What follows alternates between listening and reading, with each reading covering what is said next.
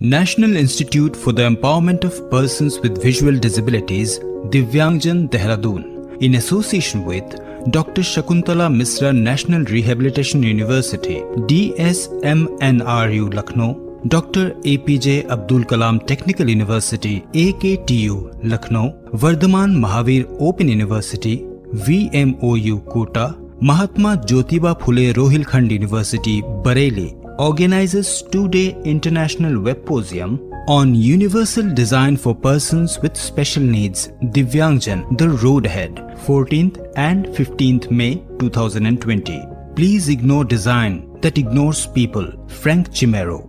Universal Design, the design welcoming all.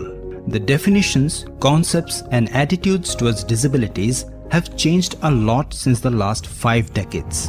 The disability related terminologies traveled through a medical model which views disability as a problem within the person to the charity model viewing disabilities to be taken care of to the social model identifying disabilities as a result of socio-environmental interactions Finally, the time came when UNCRPD was signed by many countries shifting disability rehabilitation to a holistic right-based approach. In fact, the early years of 21st century saw a paradigm shift in disability rehabilitation when on March 30th, 2007, the United Nations gathered 82 signatories on the opening day of the first comprehensive human rights treaty of the 21st century that is United Nations Convention on Rights of Persons with Disabilities UNCRPD. This was the record number of opening day signing countries in the history of United Nations conventions.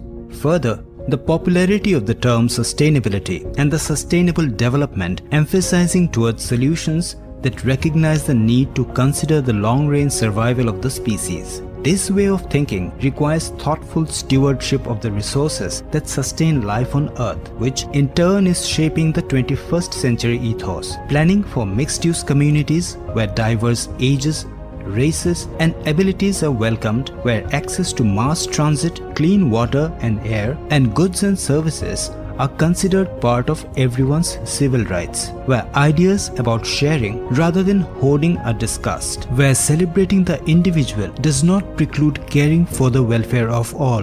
Sinazi 2011 In present era, planning and policies of the entire world is focused on developing an inclusive society which ensures the survival of the weakest in the society, unlike the primitive law of survival of the fittest neither inclusive growth could be achieved nor inclusive society could be developed without making available a universal design either in terms of accessibility or in terms of learning. The term universal design is closely associated with the policies related to inclusive growth and development.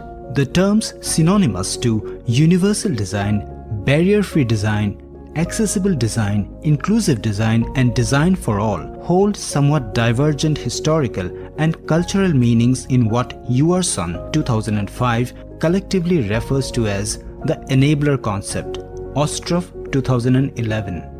The core of universal design is the acceptance of the fact that every human being is less able in one way or another and at one time or another, a matter of degree and time respectively. Although inclusive development, inclusion, inclusive education for all, etc. are talked about a lot, the progress so far made in this area is not up to mark. Inclusion of persons with disabilities is still like a hard nut to crack, especially for developing countries and the major barrier towards the non-achievement of expected output of inclusion is non-implementation of universal design principles either while developing physical infrastructure or developing digital materials or developing learning and instructional systems.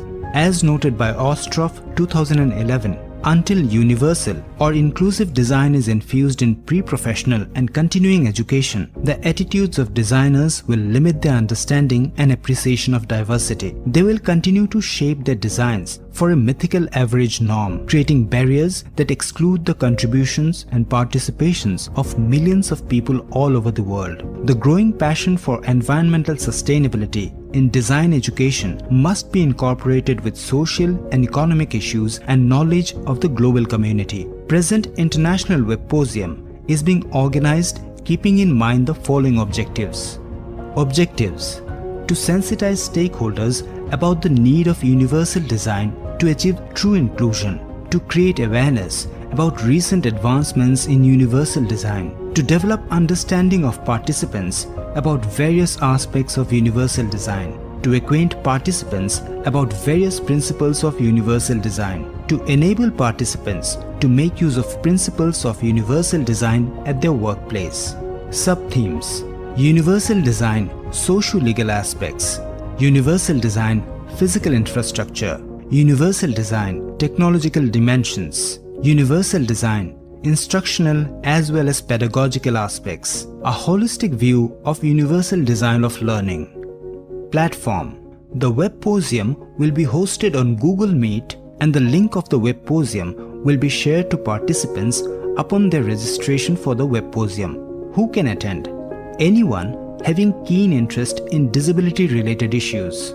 Participation the seats are limited to 200 participants offered on a first come first serve basis for which a participant needs to register using a given link of Google form. The form will be open till 5 pm of 13th May 2020.